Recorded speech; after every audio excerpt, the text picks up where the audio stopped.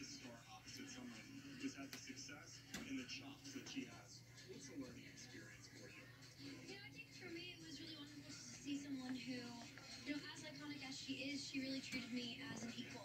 And we really became confidants in each other and, and true friends. Everyone needs a friend. But we're more than friends.